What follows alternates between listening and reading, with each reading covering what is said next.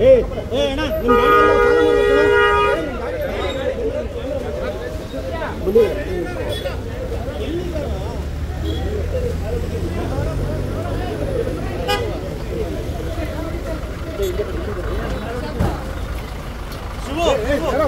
ಬನ್ನಿ ಏನ್ ಗುರು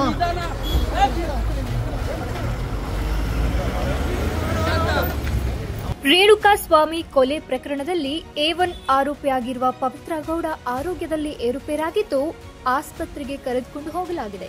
ಕಾಮಾಕ್ಷಿಪಾಳ್ಯ ಪೊಲೀಸರ ಕಸ್ಟಡಿಯಲ್ಲಿದ್ದ ಪವಿತ್ರ ಗೌಡ ಅಸ್ವಸ್ಥರಾಗಿದ್ದ ಕಾರಣ ಜೂನ್ ಹದಿನೆಂಟರ ಮಧ್ಯಾಹ್ನ ಅನ್ನಪೂರ್ಣೇಶ್ವರಿ ನಗರ ಠಾಣೆಗೆ ವೈದ್ಯರು ಬಂದಿದ್ದರು. ಪವಿತ್ರ ಗೌಡ ಅಸ್ವಸ್ಥಳಾದ ಹಿನ್ನೆಲೆ ವೈದ್ಯರನ್ನ ಕರೆಸಲಾಗಿತ್ತು. ಹೆಚ್ಚಿನ ಚಿಕಿತ್ಸೆಗಾಗಿ ಪವಿತ್ರ ಗೌಡಳನ್ನ ಮಲ್ಲತ್ತಹಳ್ಳಿ ಪ್ರಾಥಮಿಕ ಆರೋಗ್ಯ ಕೇಂದ್ರಕ್ಕೆ ದಾಖಲು ಮಾಡಲಾಗಿದೆ. ಚಿಕಿತ್ಸೆ ಕೊಡಿಸಿದ ಬಳಿಕ ಮತ್ತೆ ಪೊಲೀಸ್ ಠಾಣೆಗೆ ಕರೆದೊಯ್ಯಲಾಗಿದೆ.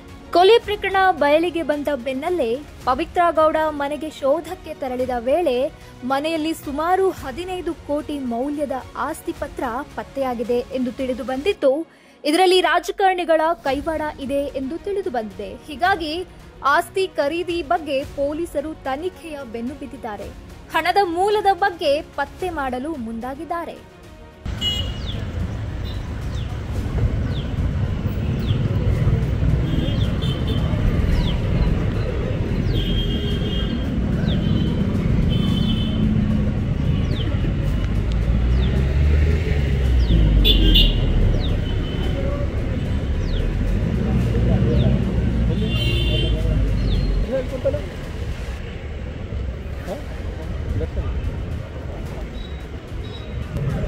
ಎಲ್ಗಣ?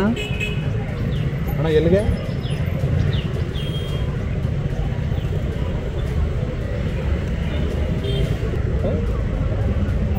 ಆ? ಕಡೆ ಇರ್ಬೇಕು.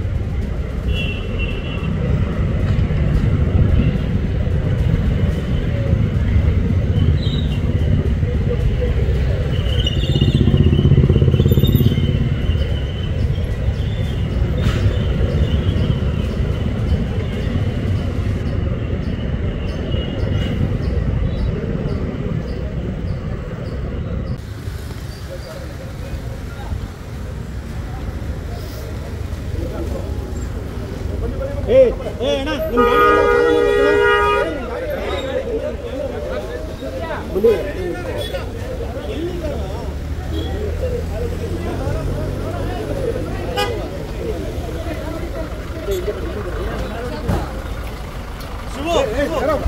ಬನ್ನಿ ಏನ್ ಗುರು ನೀನು